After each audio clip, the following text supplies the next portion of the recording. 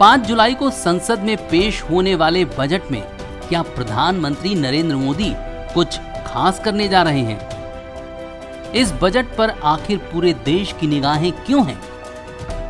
माना जा रहा है कि इसी बजट में ऐसे फैसले लिए जाएँगे जिससे देश की अर्थव्यवस्था को 5 ट्रिलियन इकोनॉमी में ले जाया जा सके।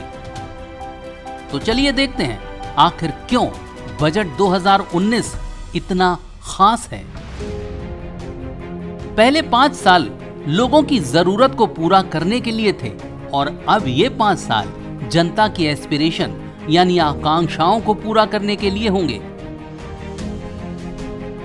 भारत को 5 ट्रिलियन इकोनॉमी में ले जाने के लिए इस बजट में कृषि, निर्माण और निर्यात क्षेत्र पर खास ज़ोर दिया जाएगा, जिससे देश की ग्रामीण अर्थव्यवस्था भी ठीक हो और विदेशी निवेश भी आए।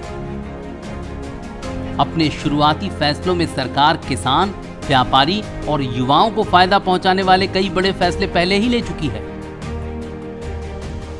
इस बजट में सरकार ऐसे फैसले करेगी, जिससे खेती के पुराने तौर तरीकों को छोड़कर आधुनिक सिस्टम अपनाए जा सके। माइक्रो इरिगेशन पर सरकार का फोकस होगा और इनपुट कॉस्ट में कमी लाने की पूरी कोशिश होगी।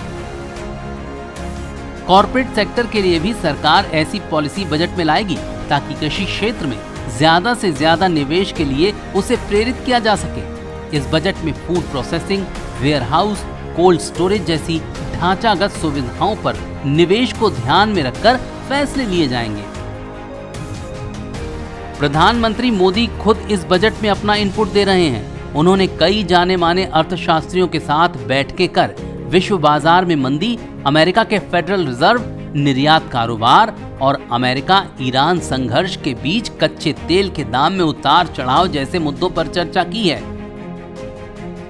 इंफ्रास्ट्रक्चर पर 100 लाख करोड़ और ग्रामीण व कृषि ढांचागत व्यवस्था पर 25 लाख करोड़ खर्च करने के लक्ष्य की ओर ये बजट मोदी सरकार की पहल होगा।